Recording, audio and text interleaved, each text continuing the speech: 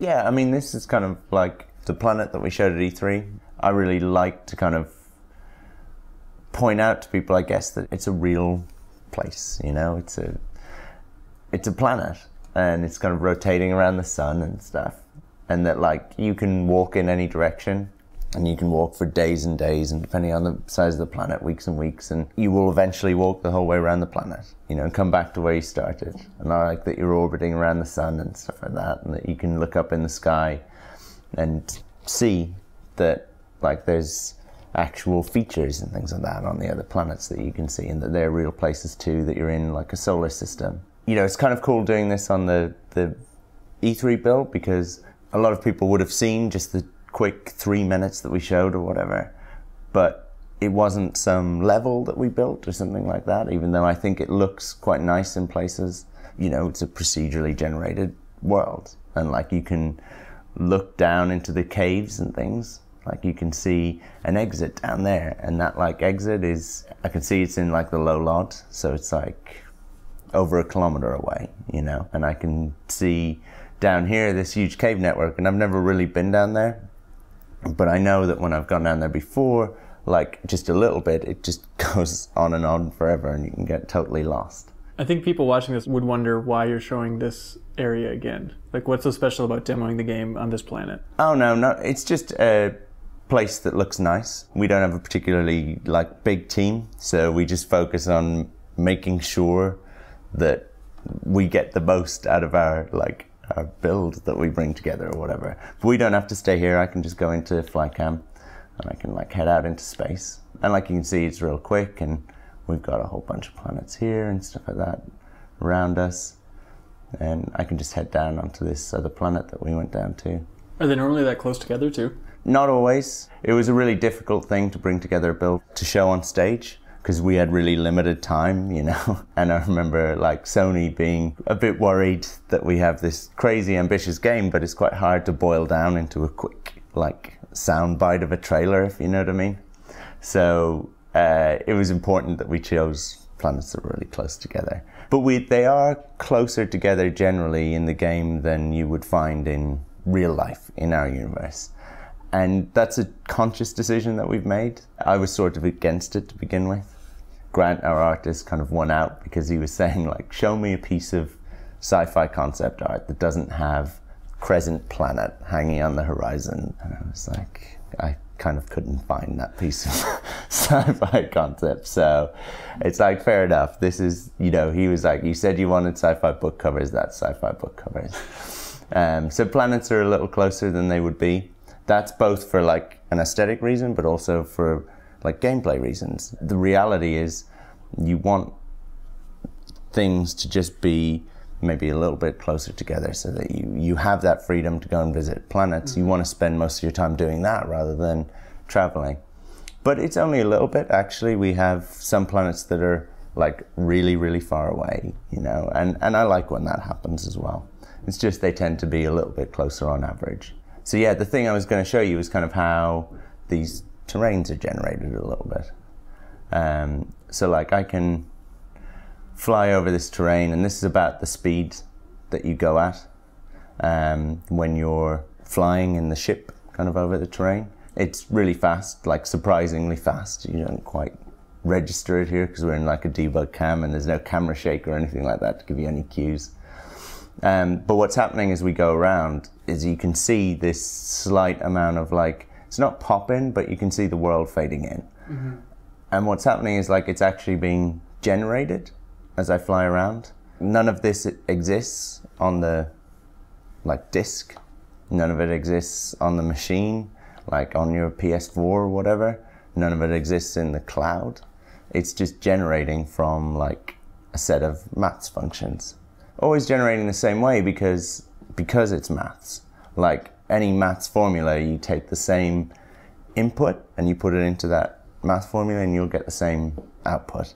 And for our game, the formula like is really complex. Well, a ser- series of really simple formulas actually laid on top of each other to create something quite complex, which is the universe. So that's our formula for like the universe and for the planets and everything else. And the input is your position. So you give it any position in that universe and it will create everything that you see around you. That's the output. So for instance, like there's no real loading time.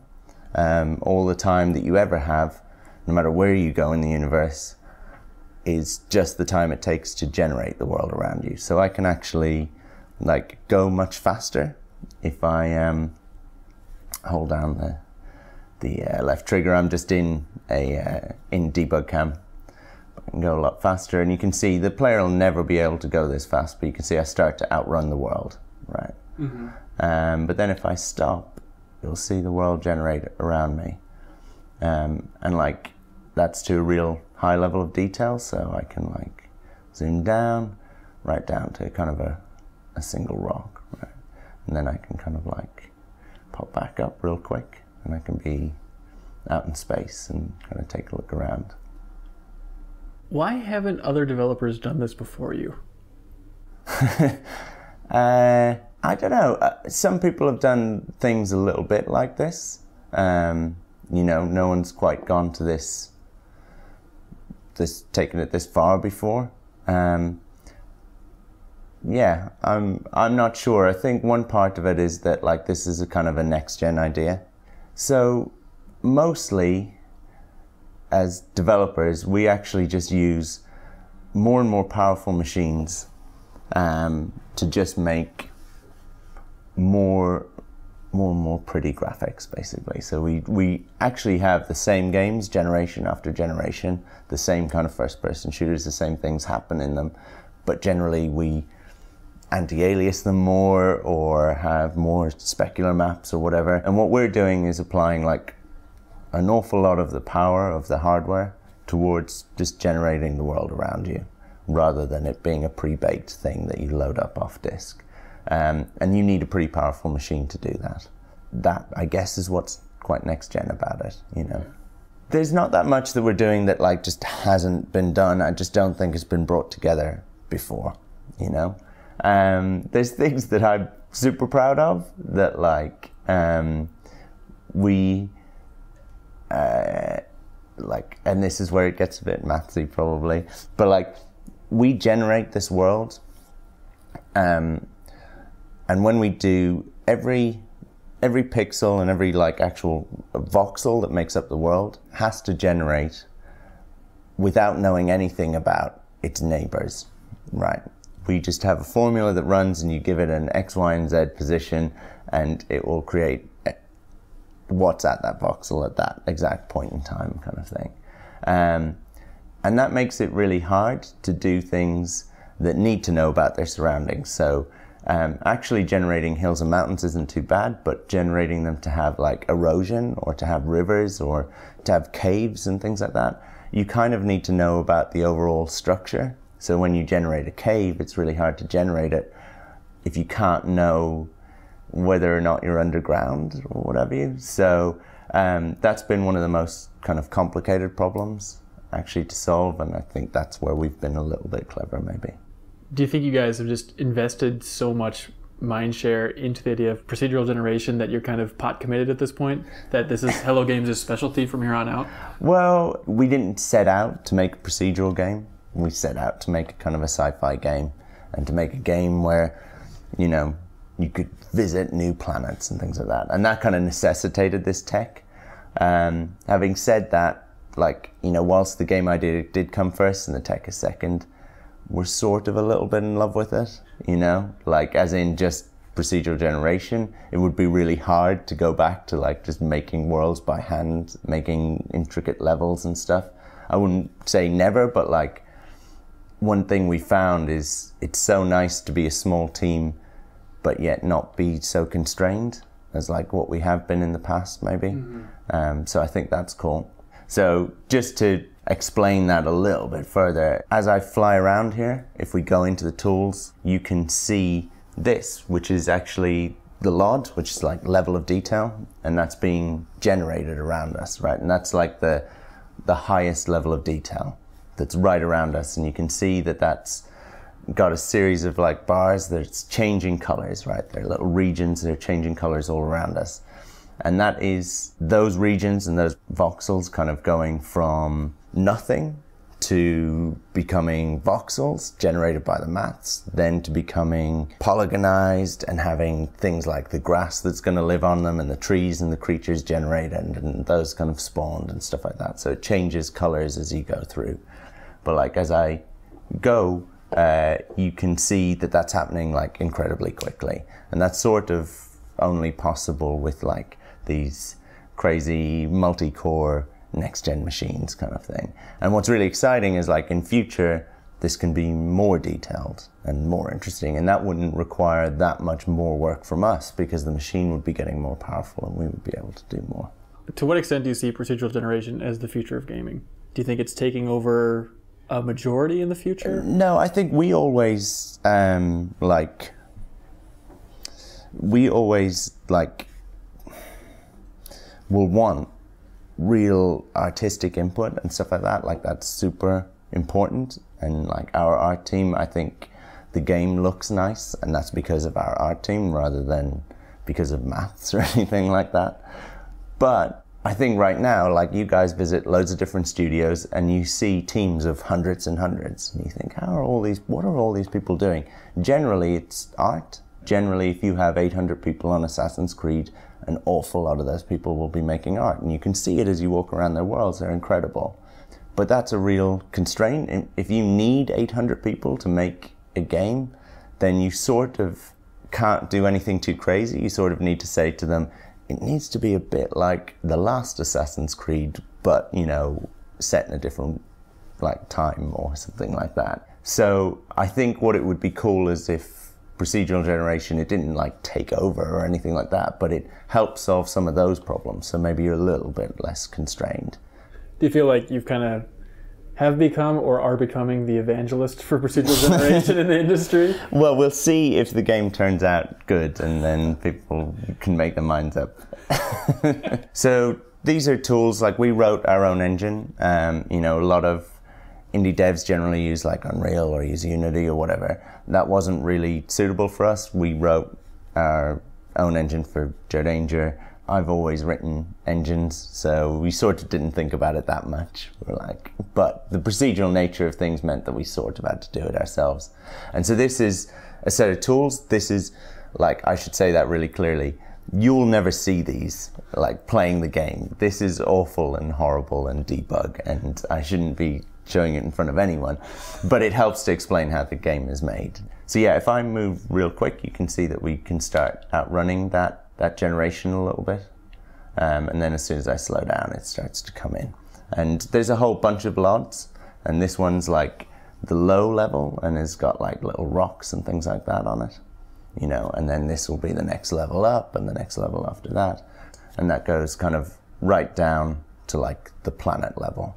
So even when you're playing the game normally and you're walking around the planet, that planet's been generated to the entire size of the planet just at a low level of detail. So when you're stood on a mountain, you can stand on a really tall mountain and you'll be able to see like the curvature of the planet and be able to see effectively forever kind of thing.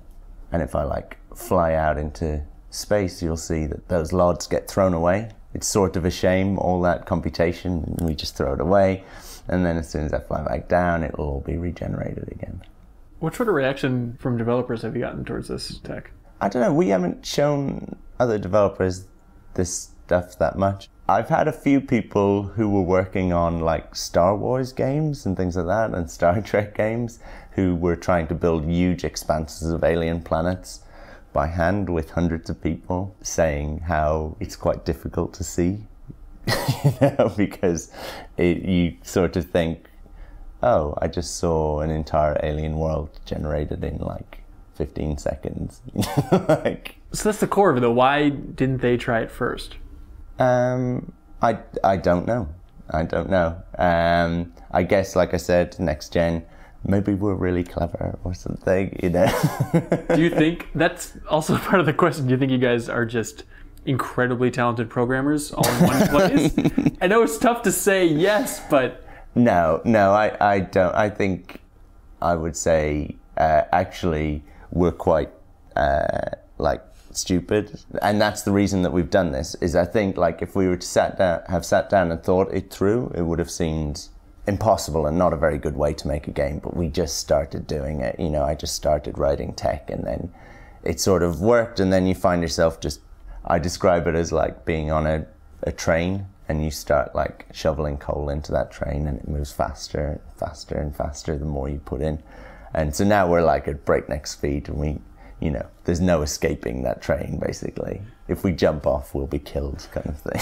it's like this runaway train now.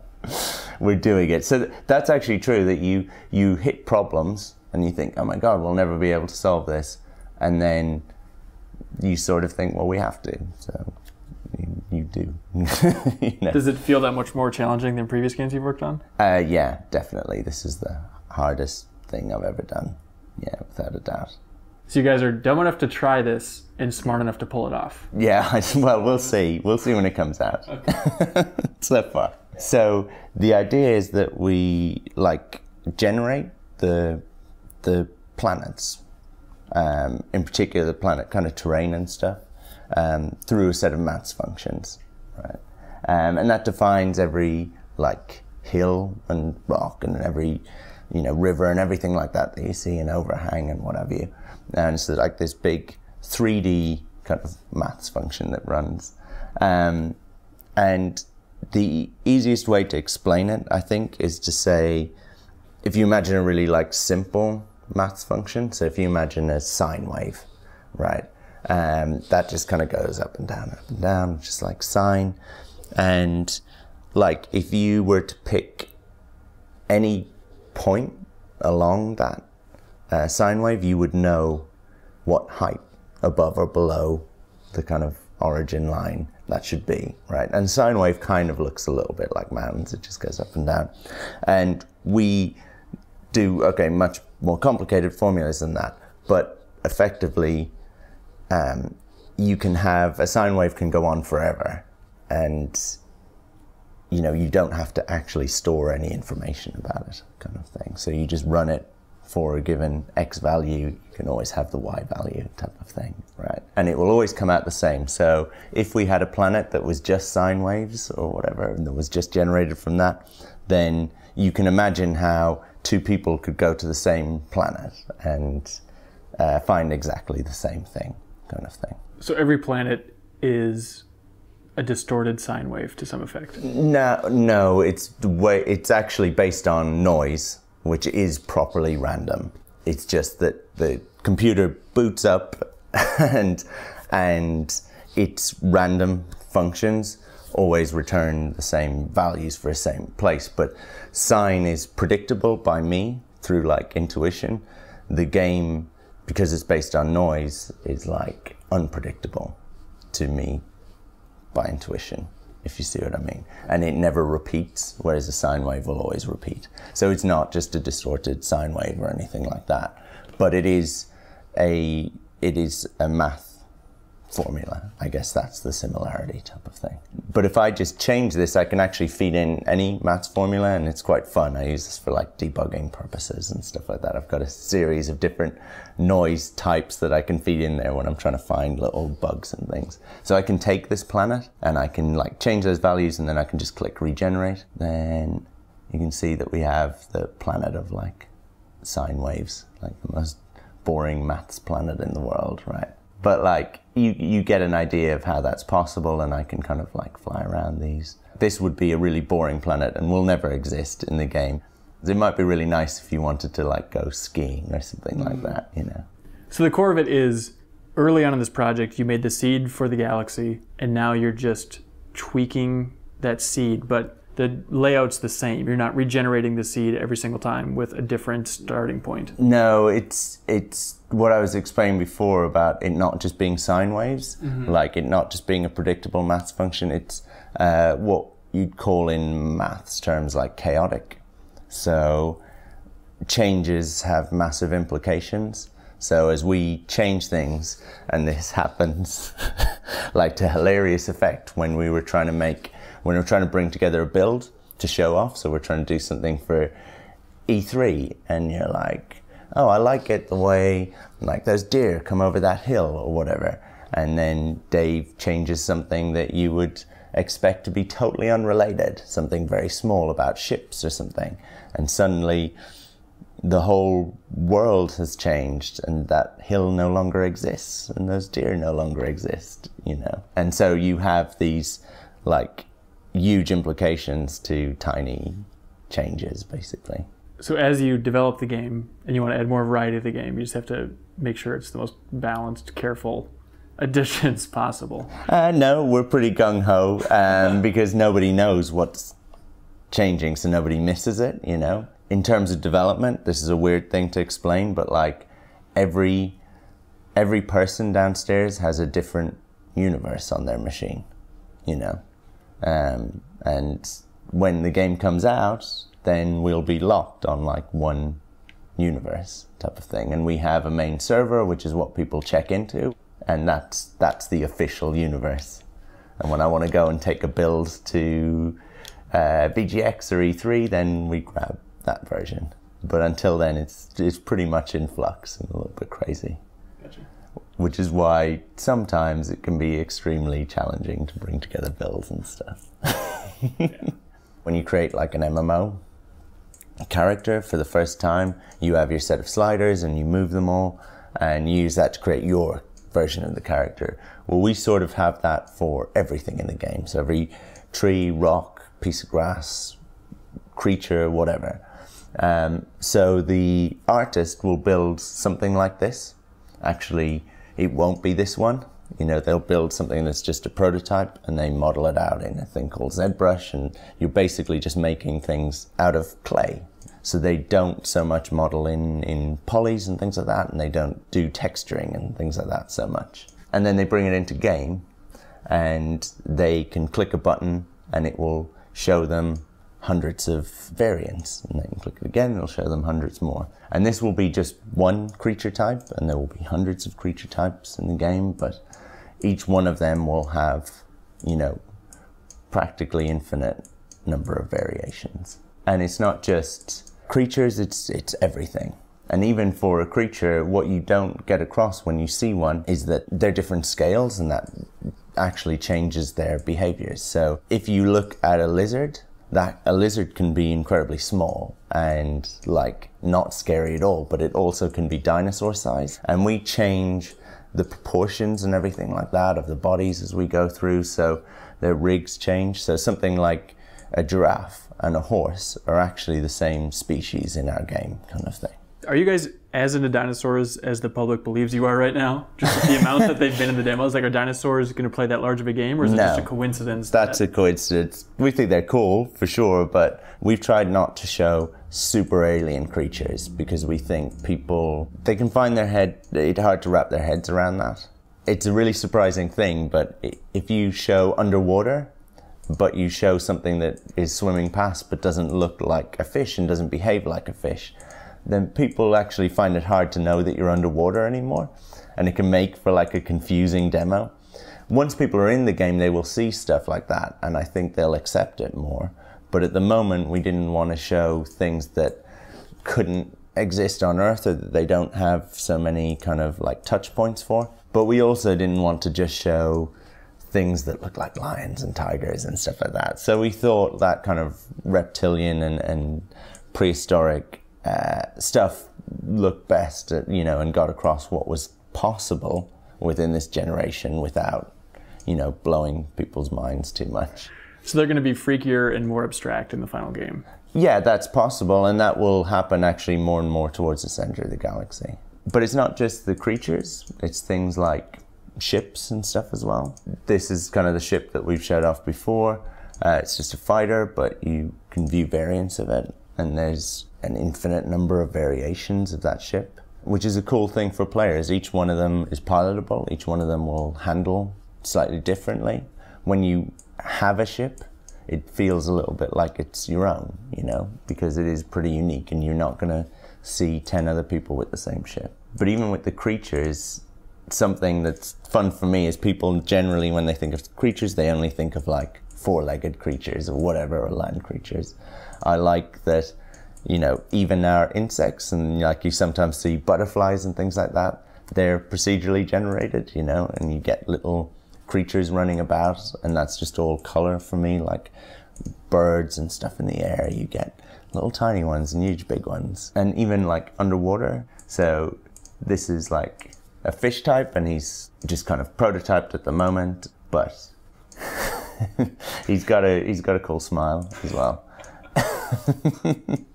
but even those, you know, there's something uniquely fun about going underwater, sometimes going into like an underwater cave and then just seeing something that you've never seen before pop out at you or knowing that that might happen is quite a cool thing.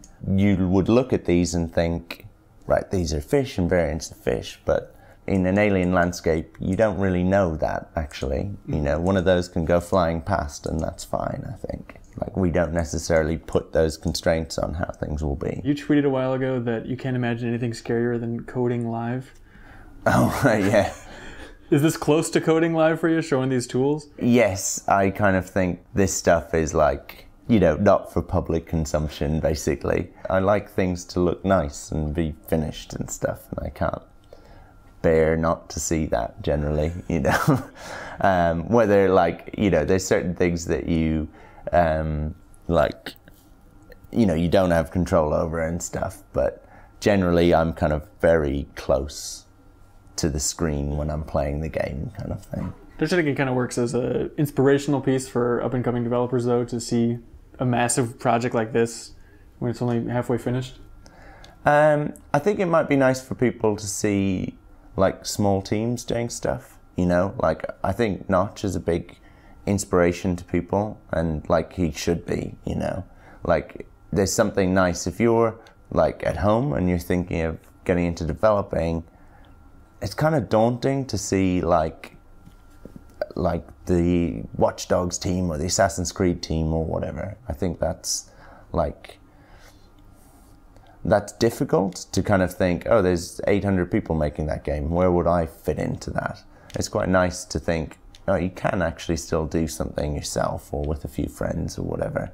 Um, I always think that's good. Like, I definitely, that was a big thing for me growing up you know, was like actually id were huge for me when I was thinking getting into games.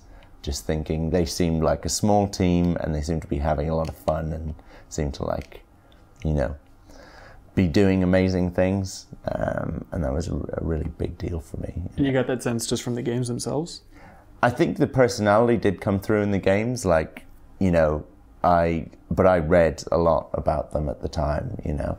Um, and like now we have like very kind of whitewashed often quite boring developer diaries and stuff you know that just stay on message and just like pump out like a PR message or whatever. But then when those guys used to talk about the games or you would read like change logs and stuff like that even, they had like a lot of personality and stuff, you know. And that was really nice because you thought they're normal human beings, so maybe I can I'm a normal human being, maybe I can do something. Although I did always think Carmack was like not normal and human, um, like in that he was amazing. So here's a weird question. With so much time spent thinking about the numbers behind the galaxy mm. and the universe, has it changed your perception of real world physics and our universe at all? Um, without without sounding too pretentious, I think it does. You look up at like the the night sky and you typically see a few thousand stars or whatever. And that seems like an awful lot, you know, and it kind of makes you feel a little bit small.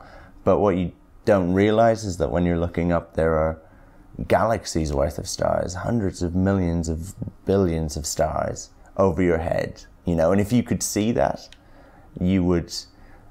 I don't even know. I, I, I think you probably either couldn't worry about anything ever again um, because you would just be, you would just think, what is the point? You know, nothing's a big deal, or you just kind of dismay and think, oh, what is the point in anything? how small am I and insignificant? Um, but like you don't see that many stars, and you don't have a sense of how small you are often. Um, and like a weird thing, like doing stuff like us making the the um, even the galactic map and working on that it sounds cheesy, but there are moments that I've thought, wow, because it's like a visual representation of of to some degree how big our own galaxy is, and it's kind of incredible, you know. To you get that from like watching loads of shows like Cosmos and stuff like that, um, but it, it's weird to see it in a game and to kind of feel that way. Often in games, games feel surprisingly constrained, you know. So like and we're used to that. We're used to walking up to doors and them not opening and things like that. And actually like say mass effect we're used to viewing a whole galaxy map and there being like three things selectable or whatever. Um, and it's like when you take those constraints off it's sort of a little bit daunting you know?